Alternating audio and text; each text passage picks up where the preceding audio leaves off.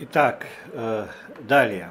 Но сначала все равно коротко повторим предыдущее, чтобы отложилось. Все импортируется, создается, э, наследуется от основного класса, тога app. Да? Э, вторым шагом всегда создается метод. Обратите внимание на self, то есть это, это метод. Этот метод, хотя есть и можно создавать без метода, но потом посмотрим, кому нравится как. Ну ладно. Дальше. Следующее создаем, иными словами, контейнер. Да? То есть э, придумываем переменную, мой, моя коробка, мой контейнер, и э, контейнер наследуется от тога, да, само собой, имя которого класса box. Да?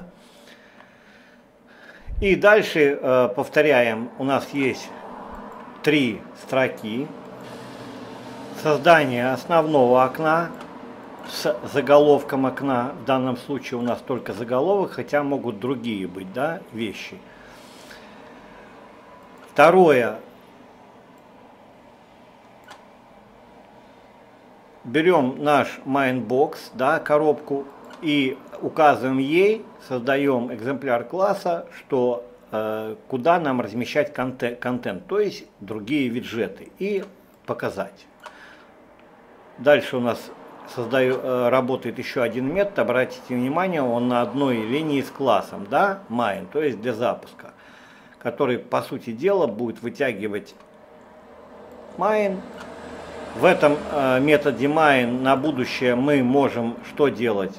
Мы можем прописывать, и, возможно, мы это будем делать, с какого метода стартовать, да? Стартовать с какого метода. Э, это позже, ну просто сейчас это запомните. У нас может быть много методов, но мы укажем, что э, стартовать должно с определенного метода. Это, фу, э, это функция, это обычная функция. И тогда определенного метода мы будем стартовать окно приложения. Если мы наберем в, поезде, в поиске Тогапак, то мы легко найдем документацию,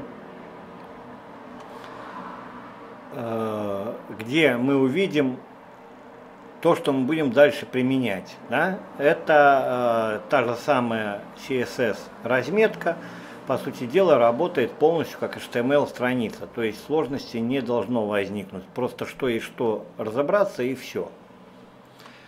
Поэтому э, давайте э, пытаться что-то сделать. Первое, э, что мы сделаем, мы берем наш, наш основной наш контейнер и прописываем. Смотрим сначала на документацию.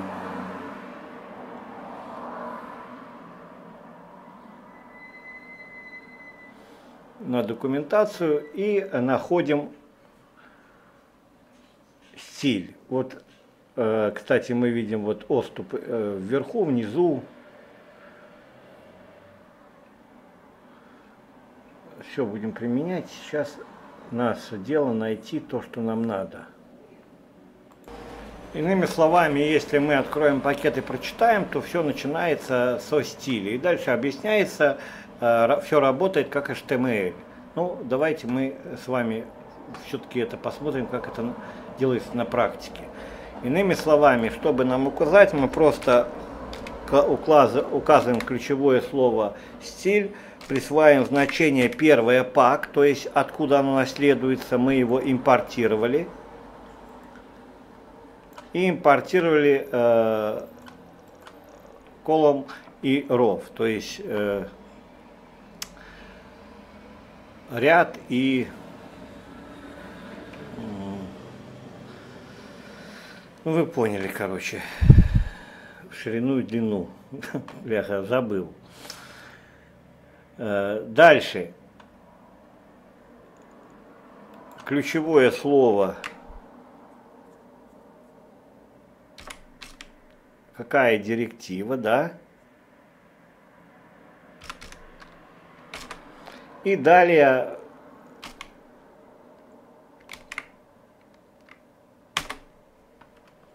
Мы здесь далее будем учиться, здесь можно указать конкретные значения. В данном случае у нас получается, как указано, просто э, строка, да, то она будет на всю ширину.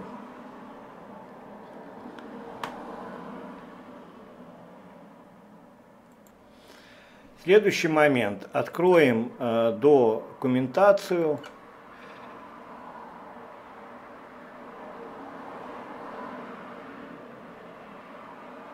Документацию.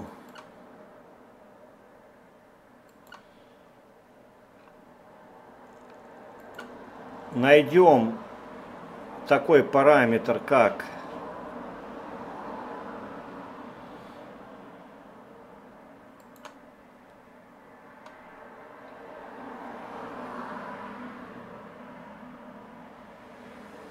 button, а, лей, лейбл, да, этикеточку.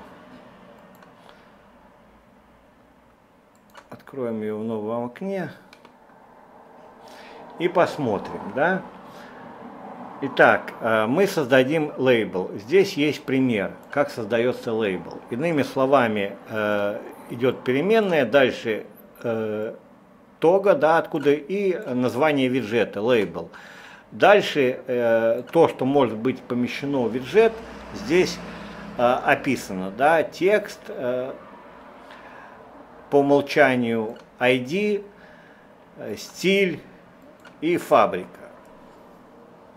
Остальные методы нас пока не интересуют, чтобы нам не усложнять. Поэтому э, мы можем прописать лейбл следующим образом –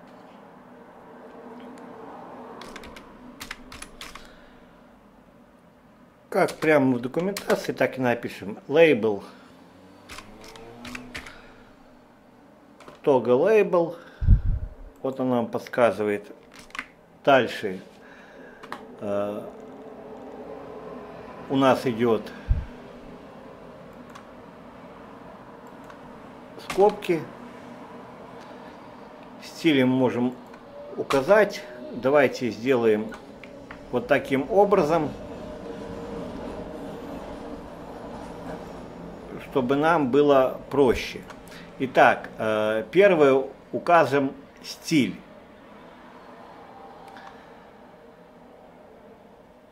Так же, как и там, присвоит значение э, пак и отступ.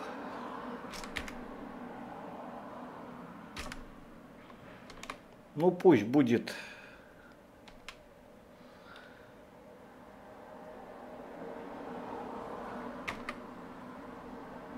Вот так вот.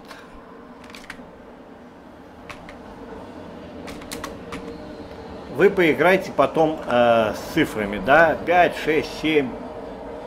Попробуйте, да, что будет происходить. Далее, э, следующим э, шагом, что мы еще сделаем, вот это переместим на другую строку. А здесь напишем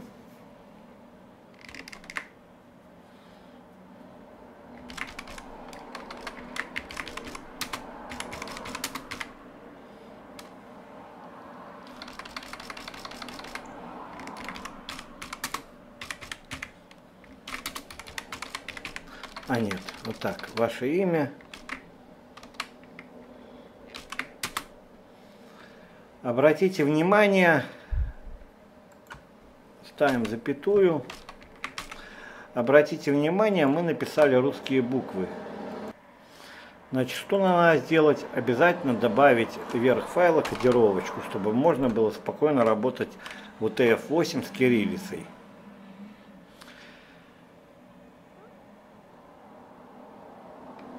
Пока все. Пока все получается. Теперь нам надо э, дальше понять логику. Давайте, как предлагается в документации, по примеру, чтобы вы могли сделать, создадим еще один виджет. Поле ввода.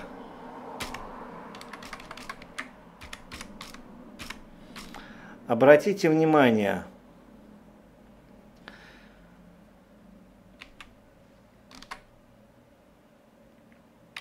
ну, назовем его так, так будем вводить имя, как там, name, name input, далее.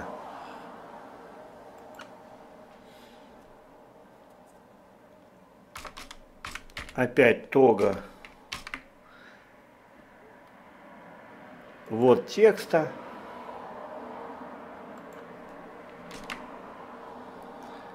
И пропишем тоже стиль. А стиль э, пропишем следующим образом. А там было стили пак. Стили пак. И э, параметр flex посмотрите. То есть указываем, сколько пространства поглощать. Мы ставим 1, то есть поглощать все пространство.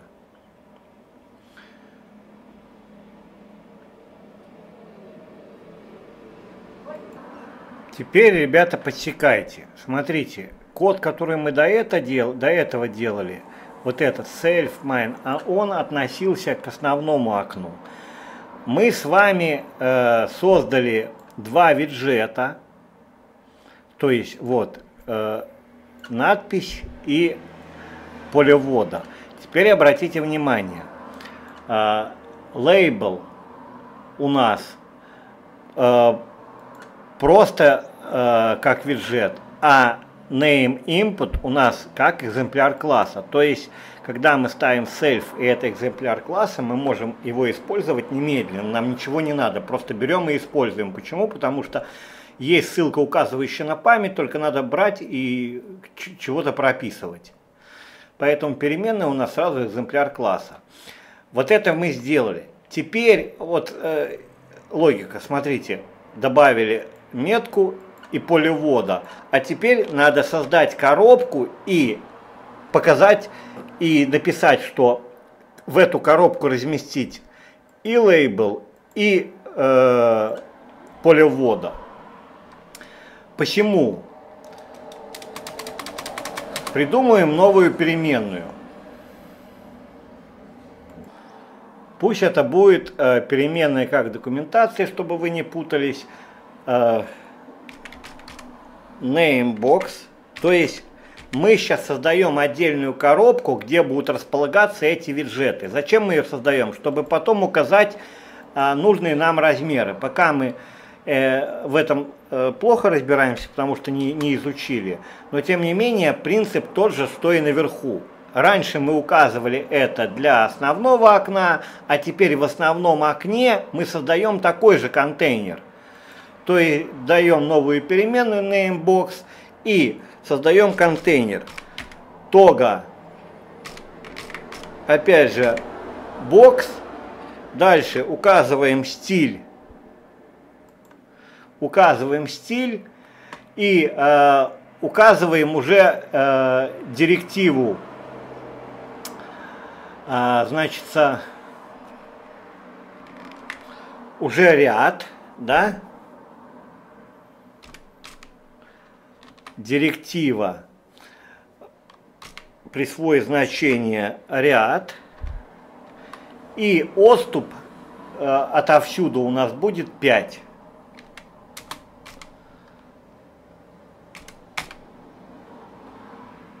Вот так. То есть э, сообразили, да?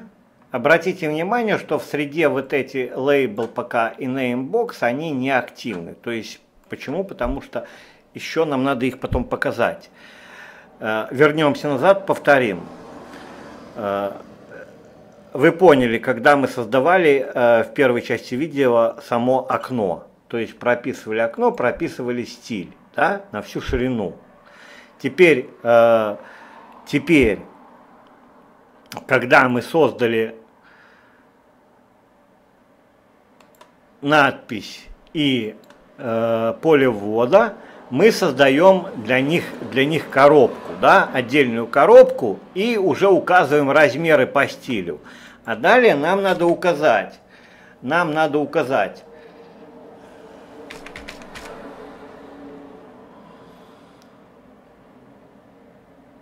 секунду. Смотрите, если мы нажмем нижний виджет, да, виджеты, то везде мы увидим э, метод add, да, add, добавить, то есть. И э, мы его сейчас будем применять. Мы берем нашу переменную namebox, namebox, добавляем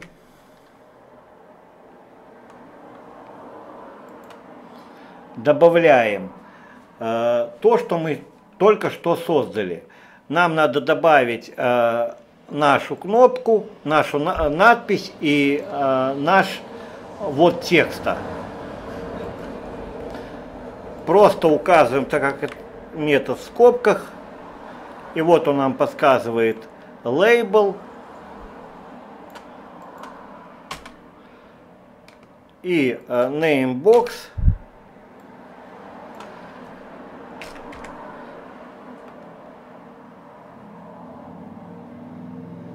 не вижу тут.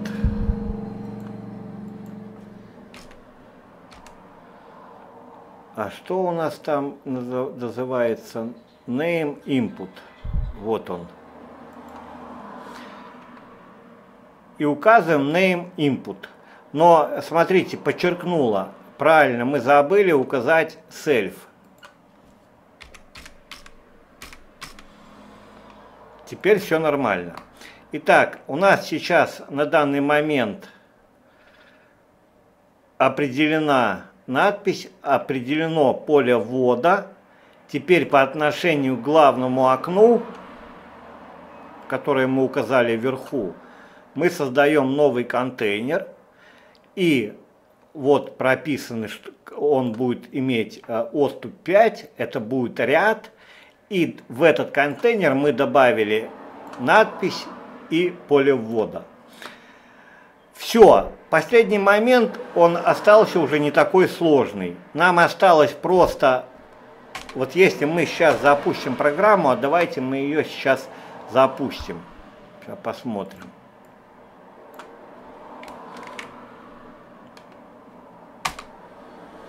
Обратите внимание, ничего нет, да? Почему? Потому что нам надо указать э, того, что все это надо дело разместить. Вот здесь, вот здесь, смотрите, вот это namebox, э, дальше добавление а, а, надписи, добавление текстового поля, это отдельный блок. Но а главное окно Mindbox, оно не знает еще об этом. Чтобы оно узнало, надо это прописать а прописать следующим образом. То есть теперь мы берем переменную э, основного окна, MindBox. MindBox, она у нас определена как основное окно вверху, да? И MindBox, мы говорим то же самое, все э, в Togo поддерживают метод add, да? И что нам надо теперь добавить? Нам надо добавить э, стоп. Нам надо добавить э, только namebox, потому что в namebox уже добавлены элементы label и input, поэтому просто добавляем переменную namebox. А namebox в свою очередь уже знает об этом. И пока попробуем, ой, попробуем запустить.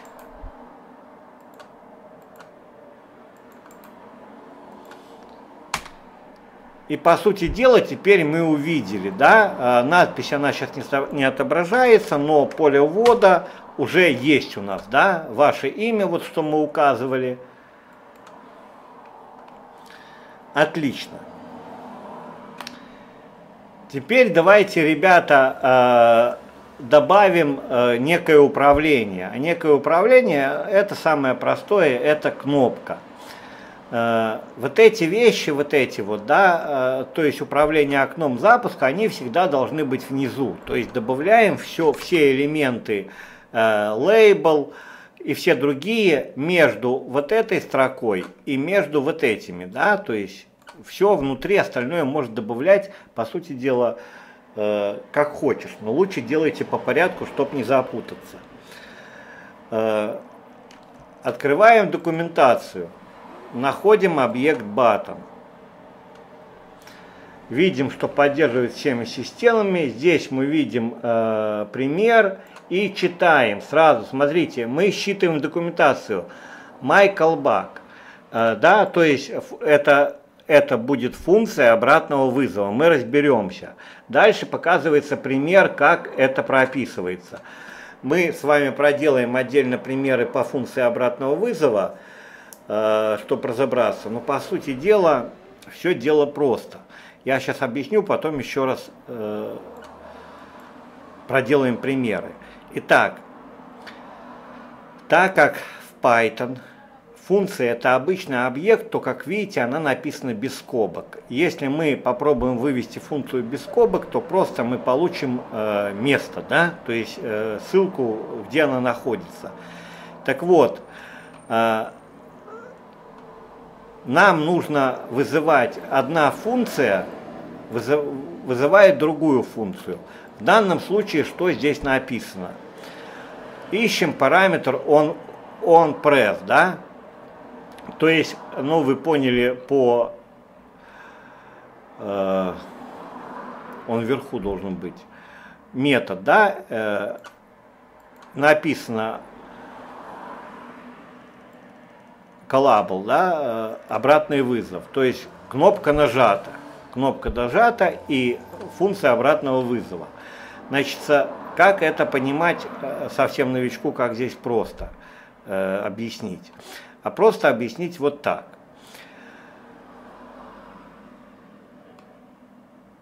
Смотрите, ну, примеры посмотрим. Обра обратите внимание, вот здесь и вот здесь нету скобок функции, да? Иными словами, нам нужно не содержание функции, а сама функция. Так вот, э, у нас есть кнопка – когда мы производим некий щелчок на эту кнопку, это э, срабатывает функция щелчок. Но вот что происходит при щелчке, обрабатывает другая функция. При этом, если вы обратите внимание, в функциях обратного вызова указывается функция без скобок. То есть нам не, нужна, не, нужно, не нужно нутро функции, нам нужна сама функция, чтобы она просто отработала. Так вот, когда мы нажимаем кнопку, мы до этого прописываем определенную функцию, что нам сделать. И получается, нажали кнопку и my callback, да? И отработала вот эта функция, да, сделала то, что нам надо, куда-то там перенаправила, но смысл здесь следующий, что обработка кнопки а, обрабатывается функцией. Фишка в том, вот если очень простым языком, то э, здесь нету скобок. Иными словами, функция работает как объект, да, Значит, если еще проще объяснить, что может быть функция обратного вызова, мы можем это посмотреть э, в тога, да, как здесь объясняется, что здесь может быть. Мы до этого дойдем, но все-таки я проговорю. В тога может быть три вещи, и в большинстве своем. Первая вещь – это метод, да, любой метод – или любая функция. Э, второе, асинхронная программа, пока мы не используем, либо генератор. Вот себе помечайте уже отлично, что такое синхронная программа, я пойду узнавать, что такое генератор и питон, я пойду узнавать и дочитаю про функции обратного вызова. И подведем итог. Сейчас вы должны получить первое представление о функциях обратного вызова. Итак, э, запоминаем. э, функция обратного вызова это та функция, которая использует другую функцию для э, определенного события. Одна функция, первая, формирует некое событие. Это может быть нажатие в кнопки, вот текста, вообще все, что хочешь. Это может быть указание, там, допустим, на мобильном мониторе конкретного места. Это не важно. Важно понимать, что есть какой-то стоп-момент, стоп-момент, стоп-момент, который формирует событие. Вот в данном случае стоп-момент, кнопка нажата. Пользователь щелк кнопку, да, что Э, в этот момент должно происходить. Так вот, э, функция обратного вызова, то есть программист пишет тогда функцию callback, callback э, я по-разному называю, поэтому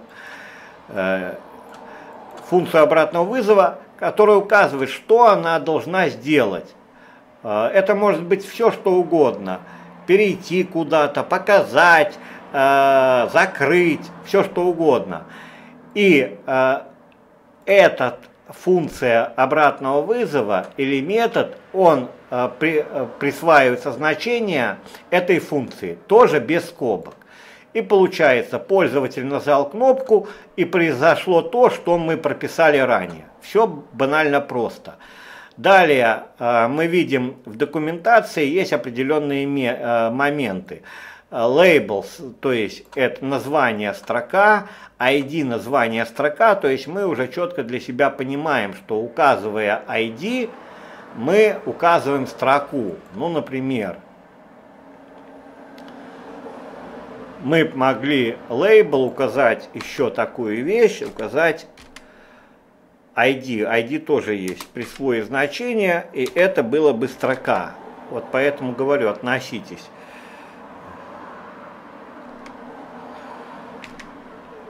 Например, там, да, э, и ставим запятую. Тогда, смотрите, здесь уже э, не работает. Почему? Потому что не указано, что это. Поэтому давайте попробуем сделать вот так. Вот так. Теперь вот так, чтобы не указывать, схитрим немножко. Вот так программа разберет, чтобы нам лишнее не указывать, что это. То есть, а если брать лейбл, то мы можем спокойно посмотреть. Лейбл, да, э, то есть текст. Мы могли э, оставить и по-прежнему, и сделать так. Текст присвоит значение строки. Тогда мы могли поставить его Сейчас попробуем, должно вообще-то стать и здесь, да. То есть тогда можем в любом порядке, да, обозначать. И таким же образом э, стиль мы уже пробовали ставить и э, э значит, завод, ну, пока нам не надо фа фабричные эти методы, нам пока не надо они, да, не будем усложнять. Так, с этим все немножко понятно. Когда у нас э, прописано лейбл, э, мы остановились на чем? Ага, что мы теперь должны, мы остановились на том, что теперь э, главному окну надо указать, да, что мы добавляем namebox, а mainbox у нас главное окно. Дальше, вы помните, мы создали главное окно, показали, э, стиль указали. Потом мы создали надпись и поле ввода. Потом для надписи и поля ввода мы создали новый контейнер. Далее э, в этот контейнер мы добавили э, этикетку и полевода. Но до сих пор новое окно оно не знает. Мы уже пробовали, вводили. Поэтому мы берем переменную MineBox, это у нас главное окно, и сообщаем ему, добавляем namebox, то есть наша, наш контейнер. В свою очередь, вот эти вещи не надо добавлять, так как э, Итак, здесь э, используем метод добавить, и э, сам контейнер уже будет знать, что в него добавлена э, надпись или этикетка и поле ввода. И следующее, что нам э, хотелось бы сделать, это э, создать кнопку. Создадим кнопку button. Создадим кнопку btn, назовем. Э, так меньше кода будет писать. И тоже это виджет, значит он от наследуется от тога button виджета. Мы его с вами открывали, и вы должны его открыть. И далее э, мы также можем прописать. То есть переходим и э, можем прописать следующие вещи. Открываем, смотрим батон и э, колбак, колбак мы разобрали, э, смотрим, есть этикетка, лейбл, да, есть ID, есть стиль, есть кнопка нажата, э, ну и много чего. Это уже позже будем разбираться, сейчас не будем не будем засорять. Поэтому э, первое мы можем писать просто. Ну, например, нажми меня. Хотя мы могли бы этикетку сюда поставить, лейбл, э, это потом поэкспериментируйте. Дальше мы определяем метод которые мы только что смотрели, то есть что нам, само событие, что нам делать при нажатии. Вот он метод, метод написано collable, то есть обратный вызов. Поэтому определяем метод onPress, то есть э, формируем событие.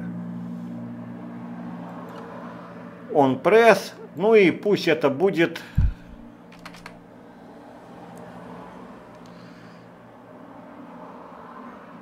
у нас метод ура. Ура, грубо говоря, заработала. Ура. Сейчас мы, если вызовем, мы получим ошибку. Да, мы еще стиль не прописали, поэтому стиль мы прописываем пак и э, самое простое отступ. Вот так, паддинг 5. Так, чего-то у нас тут не хватает. Все правильно. У нас не хватает, вот оно подчеркивает красным, запятых, запятых. Теперь э, смотрим. Она у нас э, все равно красная по одной простой э, причине, что давайте мы пока создадим метод еще один. Э, так как у нас здесь мы уже указали метод, да, а его нету. Конечно, э, это будет ошибка.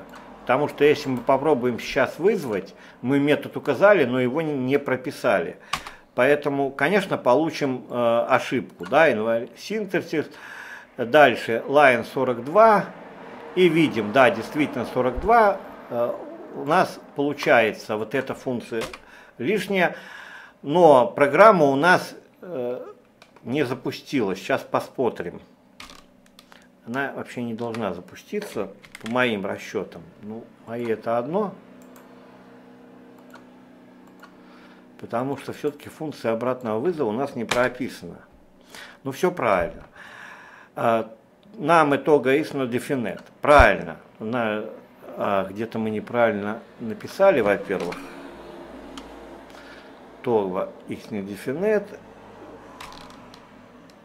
тем не менее, запустим еще раз.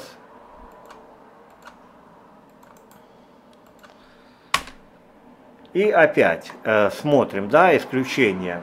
Тога старт, объект, хасный атрибут и ура. Все правильно. То есть э, функция обратного вызова ура, у нас ее просто нет, мы ее не прописали. Поэтому давайте-ка мы э, на как метод, не как метод, как функцию, где старт up на этой же линии пропишем. После всего либо пишется функция обратного вызова вверху, до всего, да? Можем писать их вверху. И пропишем ура. Далее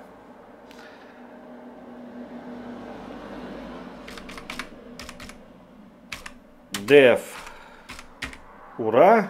Дальше это у нас метод, значит цель ставим и э, наследуется self от виджет. Вот виджет. А я э, не вижу. Вот виджет. Это все виджеты наследуются от виджет. Поэтому здесь негде путаться. Пока она у нас ничего не будет делать, но она у нас, по крайней мере, будет. Теперь давайте попробуем запустить.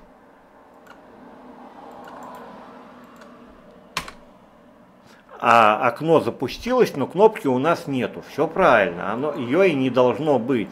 По одной простой причине, что если мы сейчас посмотрим, что мы делали, давайте отмотаем код и посмотрим.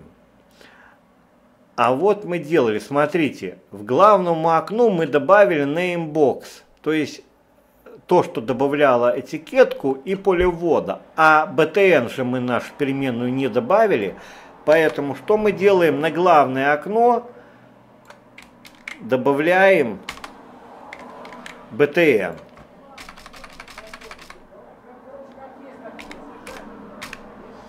Вот теперь все должно работать корректно. То есть теперь на главном окне мы указали, что показать это все дело. И действительно, мы смотрим, и есть кнопка «Нажми меня». Пока у нас стоит пас «Ничего не делать», да, то есть ничего происходить не будет. А, а мы сейчас еще раз повторяем обратный вызов, да. Иными словами, ну, давайте лучше потом разберемся. Я думаю, достаточно я сказал, пока это потом с примерами еще разберемся, отдельно с Python. Понимаете, вот насколько важно по документации работать, насколько важно это в деле, да? Почему? Потому что встречаешь человека, давно вроде изучает программирование, а обратный вызов не понимает, что и зачем.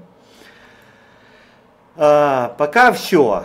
Э, дальше несколько уроков мы сделаем что? Будем улучшать нашу функцию обратного вызова, но для начала нам надо получить какой-то минимум, сделать, собрать программу, а потом уже улучшать и выпускать новые версии. То есть пройдем как бы весь путь.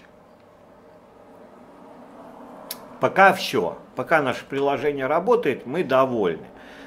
Потом в следующем видео все-таки еще раз повторим. Я хочу, чтобы вы э, вот в этом разобрались, да, и Какое ваше домашнее задание для участников школы?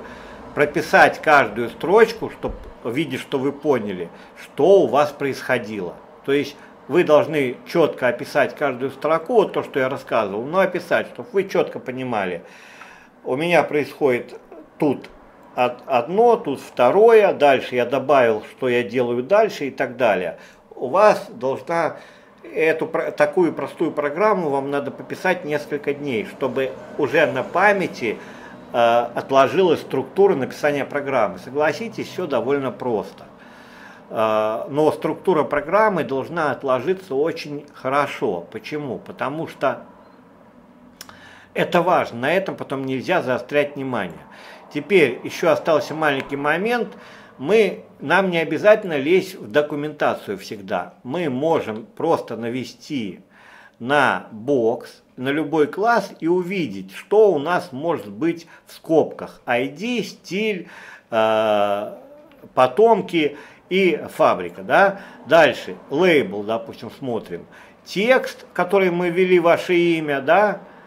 Дальше, что может быть еще? ID, видите, написано нона, то есть его нет. Может быть, может не быть. Стиль и так далее. Вводим текст input и тоже смотрим. ID, стиль, э, э, завод, дальше, э, по, по, я не помню, что это, по умолчанию там надо посмотреть, вводить, инициализация, э, изменения, ну, фокус, это все мы будем делать, валидаторы, то есть э, это нам сразу подсказками, а уже если там что-то забыли, можно пойти в документацию, да.